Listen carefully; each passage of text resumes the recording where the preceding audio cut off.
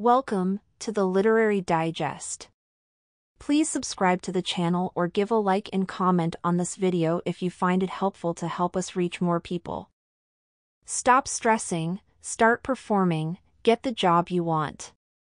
Sam Owens once hated job interviews.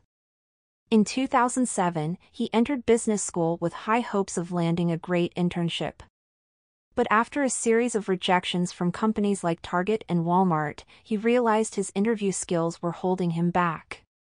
Despite his qualifications, Owens wasn't getting offers, and his confidence took a hit.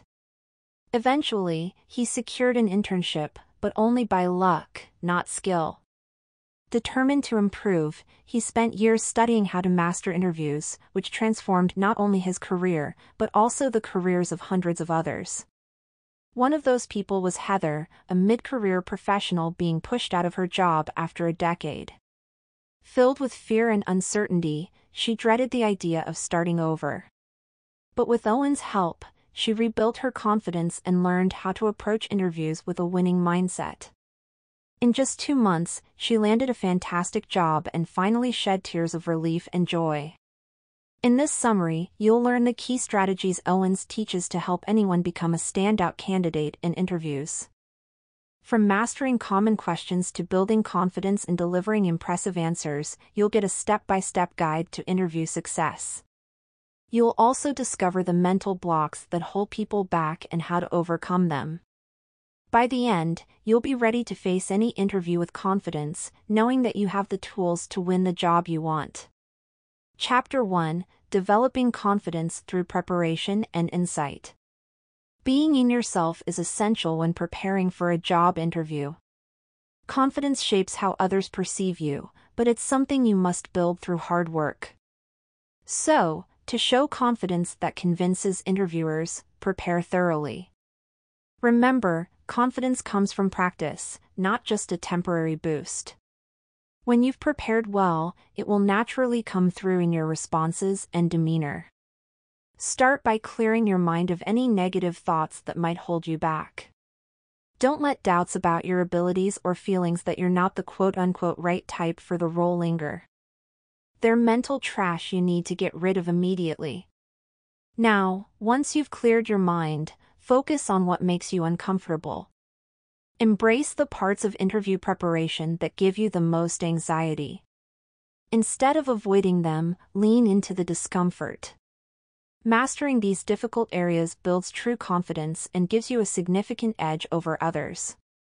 Allow yourself to work on these areas until they no longer intimidate you. Be sure to commit to 10 total hours of preparation. Spend three hours researching the company's history, values, and products, and talk to people who know the organization if possible. Then dedicate three more hours to developing your key examples, specific stories that showcase your strengths as they relate to the job. Finally, use four hours to practice your responses out loud.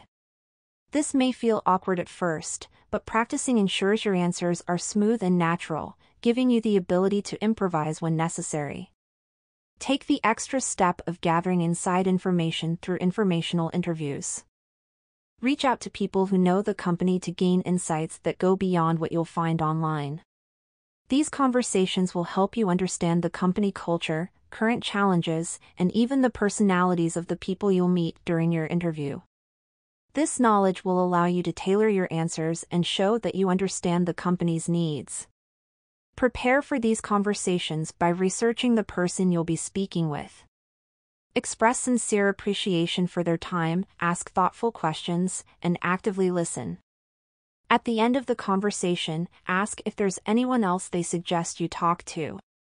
Expanding your network can uncover even more opportunities. In short, prepare by clearing negative thoughts, embracing discomfort, committing to 10 hours of research, and seeking inside information. When you follow these steps, you'll build the confidence that sets you apart and helps you secure the job. Chapter 2 Positioning and Practice To stand out in a job interview, it's important to position yourself strategically.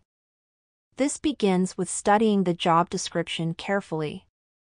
Job descriptions aren't just lists of requirements. They tell you what the company values most in a candidate. By identifying the key skills or experiences the employer is seeking, you can tailor your preparation. Focus especially on the first few listed skills, as these are usually the most important. Once you understand the job requirements, build power examples from your own experiences. These are specific instances that highlight the skills the company is looking for. The more tangible and relevant they are, the stronger your answers will be. You should have at least three examples for each major skill in the job description. Your examples should always position you as the person who solved the problem or took the lead in a situation. If your experience doesn't perfectly match the job requirements, you can bridge your experience by drawing connections between what you've done and what the company needs. This technique helps show that you have transferable skills that make you a good fit for the role. The next step is practice. Just like learning a new language, the best way to get better at interviews is by actively practicing them. It's not enough to prepare your answers in your head or on paper. You need to say them out loud. Start by reading your responses aloud to hear how they sound. Then practice going off book, where you give your answers from memory. This helps you become comfortable with the material and avoid sounding rehearsed. A mock interview is the final, most effective stage of preparation. Find someone who'll take the practice seriously, whether it's a professional coach or a friend. Simulate the real interview experience as closely as possible without breaking character, and only ask for feedback at the end. Ideally, you should do two mock interviews to polish your performance. This preparation helps you uncover weaknesses before the real thing, giving you a significant advantage. By understanding the job description, building strong examples, and practicing effectively, you'll be able to position yourself as the best candidate in the interview. The key is preparation, which not only boosts your confidence, but makes sure your interview stands out for all the right reasons. Chapter 3 Succeeding with Introductory, behavioral, and scenario questions. When you're preparing for a job interview, remember that the first question can set the tone for everything that follows. It's your chance to create momentum by showing the interviewer why you're the perfect fit. You'll often hear questions like, Tell me about yourself, or Why do you want this job? These may sound casual, but they're designed to see how well you can highlight your relevant skills, your performance history, and why you're genuinely interested in the role. The key is to persuade without being pushy. Start with gratitude. Acknowledging the interviewer's time sets a positive tone. Then use facts and examples to show your strengths.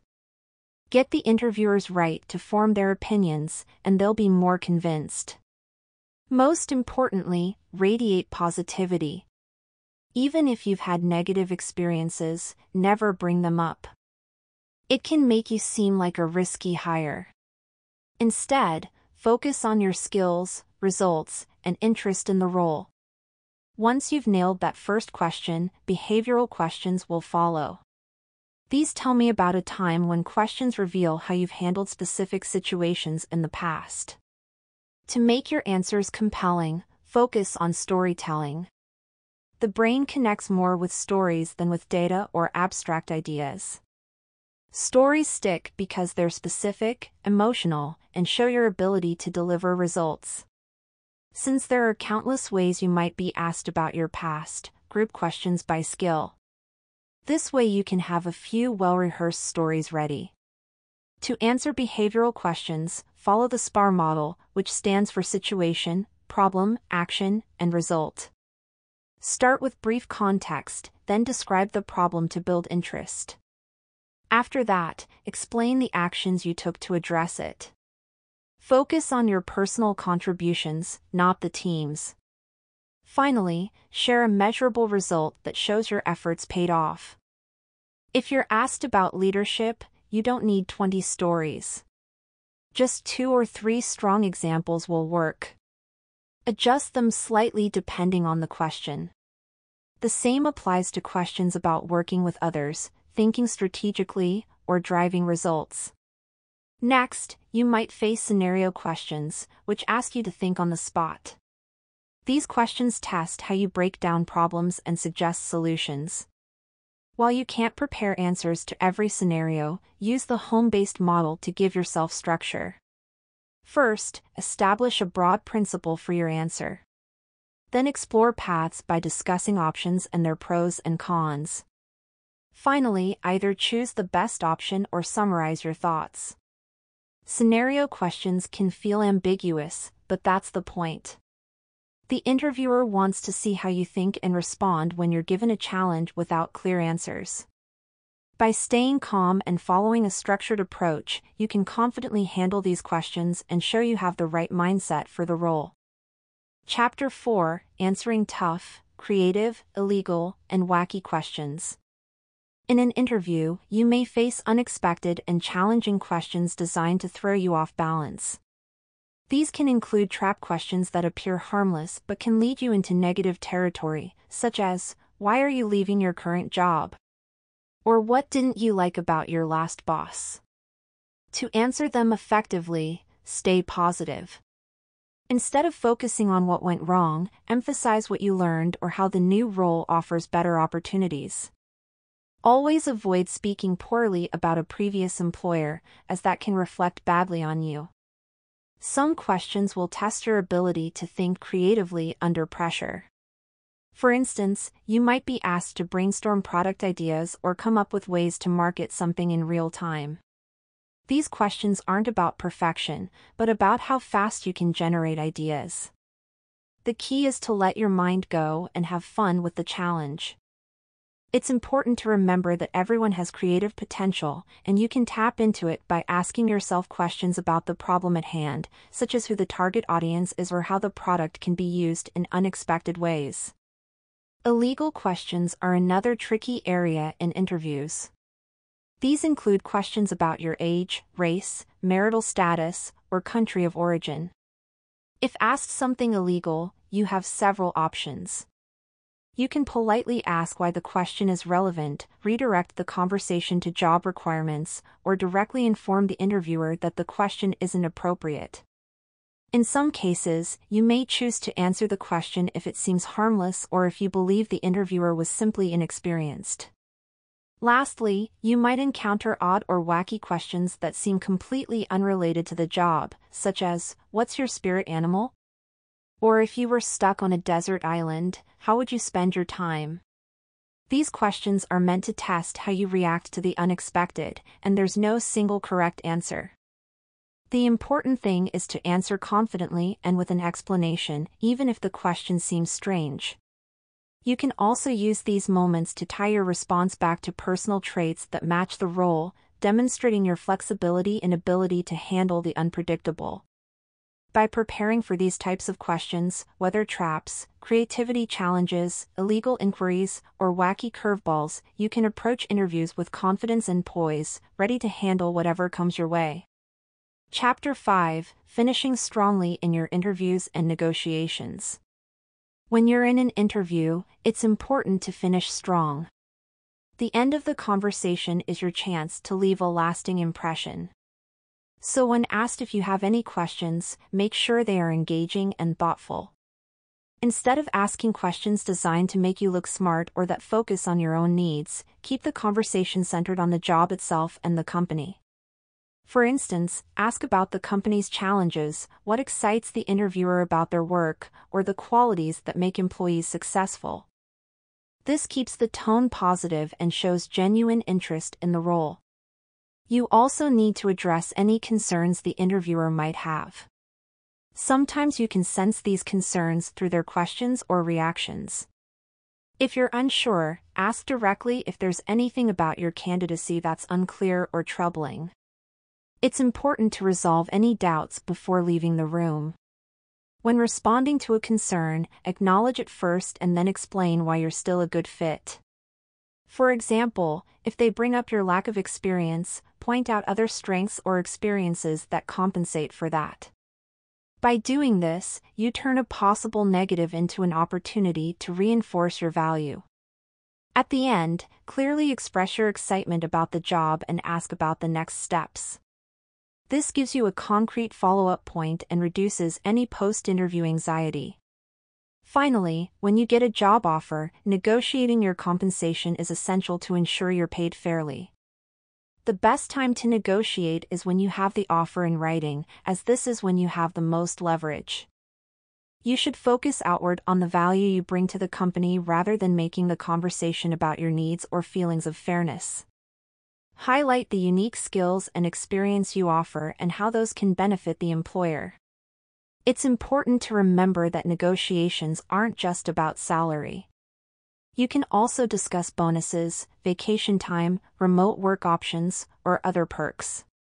Companies are more likely to negotiate if they know you're enthusiastic about the job, so make sure they know you want the role. Throughout the process, be professional and likable. Negotiating hard doesn't typically burn bridges, but dragging out negotiations can. You need to be clear about what's most important to you, justify your requests, and rehearse your delivery.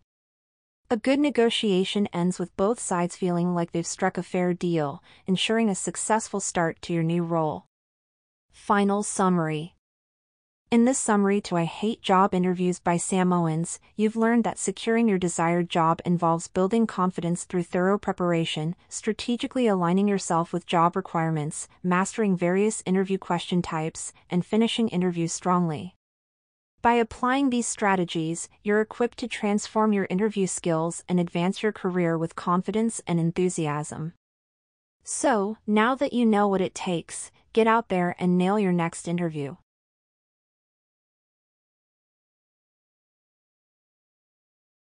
Thanks for listening.